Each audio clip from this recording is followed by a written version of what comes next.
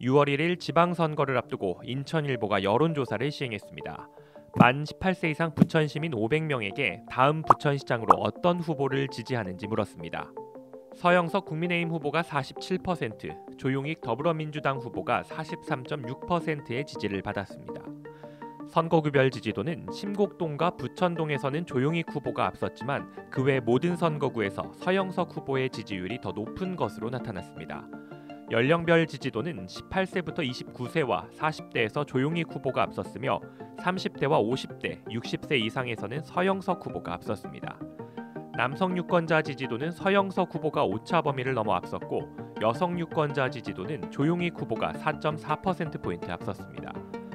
부천 시민의 경기도지사 후보 지지도는 김은혜 국민의힘 후보가 41.4%로 가장 높았으며 김동연 더불어민주당 후보가 근소한 차이로 뒤따랐습니다. 부천 시민의 정당 지지도는 국민의힘이 46.8%, 더불어민주당이 43.6%로 집계됐습니다.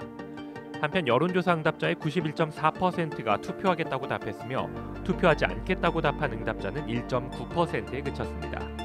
이번 조사는 여론조사 기관 한길 리서치에 의뢰해 지난 21일과 22일 이틀간 무선 ARS 방식으로 실시했고 오차 범위는 95% 신뢰 수준에서 플러스 마이너스 4.4% 포인트입니다.